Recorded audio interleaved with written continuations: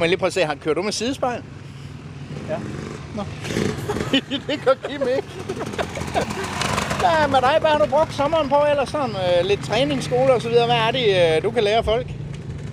Det ved jeg ikke. Lave, ikke lave de fejl, som jeg gør, vel? Jamen, hvor skal man så starte hen? Det er også det, og det er derfor, jeg har sat en hel af en uge af til det jo. Jeg har faktisk brugt tre uger med træningsskole her. Ja. Så, så det er derfor. Men er det egentlig ikke også sjovt, det der med at stå og træne nogen, som har haft øh, de samme ambitioner, som du havde engang, kan man sige? Jo, helt sikkert, helt sikkert. Jo, jeg synes, det er vildt sjovt. Det, er- det er vildt fedt. Også bare det, altså, det er hyggeligt, og, og også lære fra sig, det er også fedt. Men hvad er det med henblik på dig? Hvad skal der ske egentlig? Altså nu kan man sige, at den her sæson, den er sådan lidt, øh, den er sgu lidt skidt på grund af, at du har haft de uheld, som du egentlig har haft. Så, så hvad, hvad, hvad er formålet med resten af sæsonen?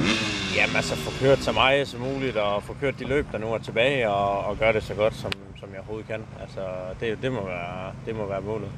Jeg ved, du skal til at læse øh, til noget øh, bygningskonstruktør. Ja. Og, og det er det, som jeg siger, man skal aldrig dømme mand efter udseende, for det tror jeg faktisk ikke, at... Øh... Okay, jamen tak for det, jeg Du, godt, du står på den anden side af linsen, Ja, ja, du, du, var grim, du var grim som lille, du har holdt dig godt, Niklas. Men, men Niklas, prøv at gør det jo så, at øh, du måske kan prioritere crosssporten lidt mere, for man kan vente om at så sidde på skolebænken er lidt anderledes end at brænde tagpap på øh, op på et eller andet loft og så videre, og så videre, og knokle røven ud af bukserne, og så skal han crosskarriere til at fungere også.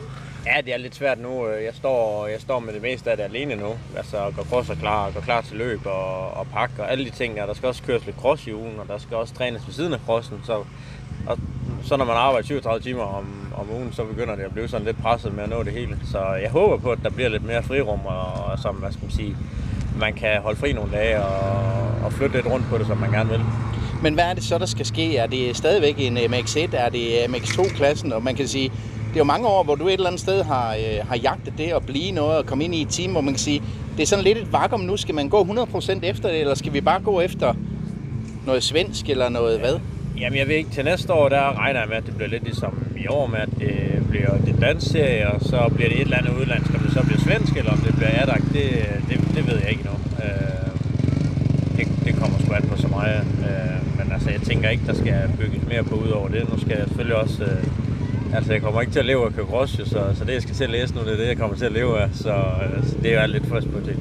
Men hvad med sådan noget som øh, Yamahaen? Er det også øh, den, du skal jagte resultater på til næste år, tror du? Det håber jeg da. Jeg er vildt glad for at køre på Yamahaen, og jeg synes, den kører godt, og der er aldrig noget at komme efter. Så, så jeg håber selvfølgelig, det bliver Yamaha igen. Men altså, jeg har ikke aftalt til ud over sæsonen her, så nu må vi se.